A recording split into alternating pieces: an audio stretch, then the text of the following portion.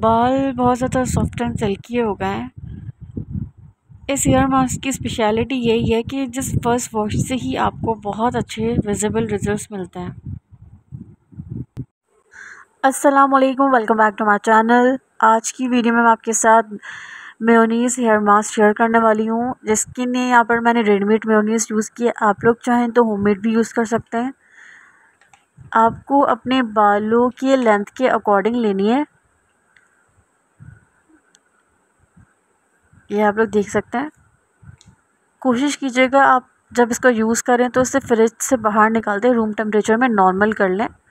और उसके बाद यहाँ पर सेकेंड एंड लास्ट इंग्रेडिएंट जाएगा हमारा कैस्टर ऑयल अगर आपके पास ये ना हो तो आप कोकोनट ऑयल भी यूज़ कर सकते हैं, कोई मसला नहीं है। लेकिन कैस्टर ऑयल जो है बहुत ज़्यादा जल्दी प्रमोट करता है हेयर ग्रोथ को।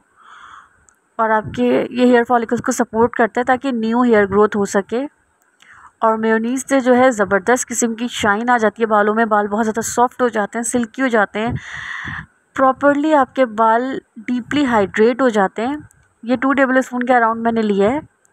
अब इन सब चीज़ों को, दोनों चीज़ों को बहुत अच्छी तरीके से हम मिक्स कर लेंगे।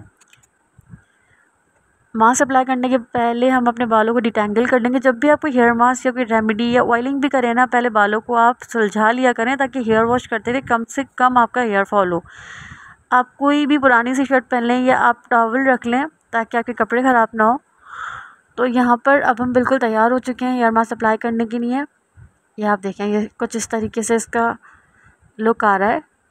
थोड़ा थोड़ा सा हम लेंगे और बालों के सेक्शन कर लेंगे छोटे छोटे से ताकि अच्छी तरीके से पूरा मास्क हमारे बालों में लगे।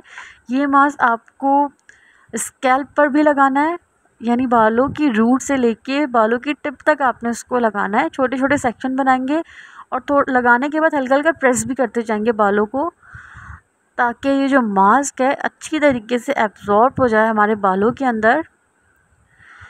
तो यहाँ पर मैं फटाफट से मास्क लगाना स्टार्ट कर देती हूँ। कि हेयर मास्क मैं जब भी यूज़ करती हूँ ना, मेरे बाल इतने सॉफ्ट और सिल्की हो जाते हैं ना, आप इस हेयर मास्क को वंस इन अ वीक भी यूज़ कर सकते हैं, या एटलीस्ट ट्वाइस अ मंथ तो आप इसको लाजमी यूज़ कीजिए। इससे जब भी हम नॉर्मली बाल स्ट्रेट करते हैं कर्ल्स करते हैं तो बालों को इतनी ज़्यादा हीट मिलती है जिससे बहुत ज़्यादा वो ड्राई और रफ़ हो जाते हैं। तो ये डीपली मॉइस्चराइज़ कर देता है, आपके बालों को हाइड्रेट कर देता है।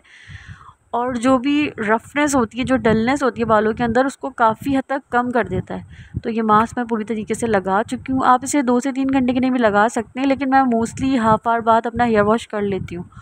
तो बालों को हम टाई कर लेंगे।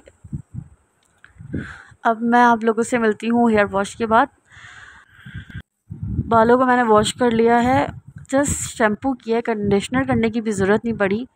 ये देखें रिज़ल्ट आप लोगों के सामने हैं। बहुत ही कमाल के रिज़ल्ट हैं और इसकी, इस हेयर मास्क की सबसे मज़ेदार बात ये कि आपको फ़र्स्ट वॉश से ही बहुत विजिबल रिज़ल्ट मिलता है। अभी ये पूरे बाल मेरे ड्राई नहीं हुए अच्छी तरीके से, लेकिन रिज़ल्ट आपको अभी से फील हो रहा है। होप सो आज की जो ये रेमेडी है, ये जो हेयर मास्क है, आप लोग को पसंद आए बहुत ही सिंपल सा बेसिक सा हेयर मास्क है, जो आप ईज़िली लगा सकते हैं और इसके बहुत अच्छे रिज़ल्ट हैं। बहुत आपके बाल जो है अच्छी तरीके से हाइड्रेट हो जाएँगे। तो वीडियो पसंद आई होगी तो वीडियो को लाइक करके चैनल को सब्सक्राइब करना बिल्कुल मत भूलिएगा। अपना बहुत सारा ख्याल रखिएगा। इंशाल्लाह फिर मिलती हूँ नेक्स्ट वीडियो के साथ। चल जाए खुदा हाफिज़।